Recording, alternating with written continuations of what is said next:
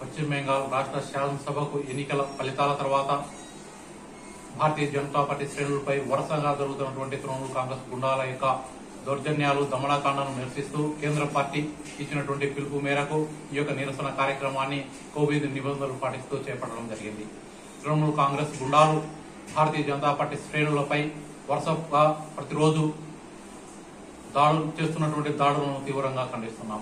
Bharatiya Janata party కార్యకర్తల హత్య రాజకీయాలను హత్య హత్య రాజకీయాలను భారతీయ జనతా పార్టీ కార్యకర్తల ఇళ్ళపైన దాడులను భారతీయ జనతా పార్టీ కార్యకర్తల షాపులను లూటీ చేయడము వీటన్నిటిని కూడా మేము తీవ్రంగా ఖండిస్తున్నాము.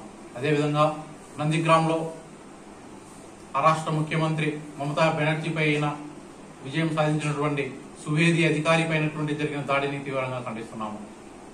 పశ్చిమ బెంగాల్లో ముప్పై సంవత్సరాల పైగా ఏకతాటిగా పరిపాలన చేసిన కమ్యూనిస్టులు ఈరోజు ఉనికి లేకుండా ఆ రాష్ట్రంలో కోల్పోవడం జరిగింది. కమ్యూనిస్టులు ఇదే తరహా గుండాయిజాన్ని రోడ్ రోడ్యిజాన్ని ప్రోత్సహించడం కారణంగా ఆ రాష్ట్ర ప్రజల యొక్క హృదయాల నుండి వాళ్ళ యొక్క స్థానాన్ని కోల్పోవడం జరిగింది. అదేవిధంగా భారతీయ జనతా పార్టీ కూడా భారతదేశంలో అనేక రాష్ట్రాల్లో అధికారం ఉంది.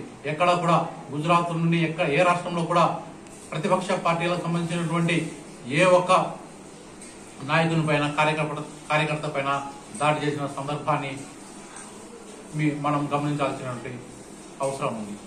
ప్రజాస్వామ్యాన్ని పరీక్షించడంలో చట్టాన్ని పరీక్షించడంలో భారతీయ జనతా పార్టీ యొక్క శ్రేణులు ముందుంటాయి. పశ్చిమ బెంగాల్లో చేస్తున్నటువంటి ఈ యొక్క రోడ్యిజాన్ని గుండోయిజాన్ని తృణమూల్ కాంగ్రెస్